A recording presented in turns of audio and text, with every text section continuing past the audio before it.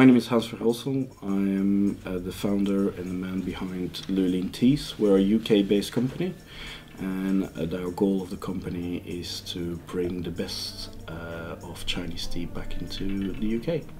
I think what, what makes our business model uh, different from many other team porters or import-export companies is that we have a very intense collaboration with our Chinese partners. They're not just our producers. Uh, they actually fulfill many roles for us, going from actually sourcing the products, doing the quality control, which is very important, uh, and doing the packing as well as the shipping uh, for our uh, online website, uh, where we sell directly to consumers.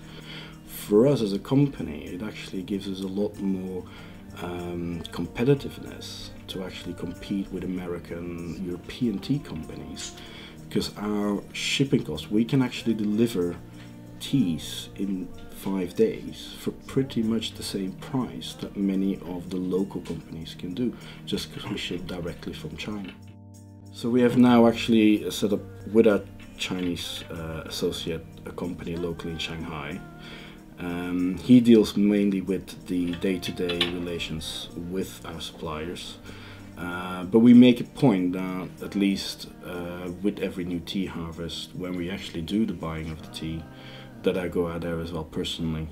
The main breakthrough was for us last year when we were working on a big cultural event in, in Belgium uh, called Europalia, which Europalia is a cultural event that happens every two years. Um, and we were asked to provide them with the tea and all kind of merchandising. Um, and it was a big success in the five to six months that it runs. We had 1.5 million visitors. I think our, our biggest USP is probably that we control the whole production. Um, we have control literally what we say from picking to pouring. Um, we can guarantee and pinpoint on a map of China exactly where, where the tea is coming from. We inspect those farms as well. We know that they are organic, that is fair trade. We have all that knowledge.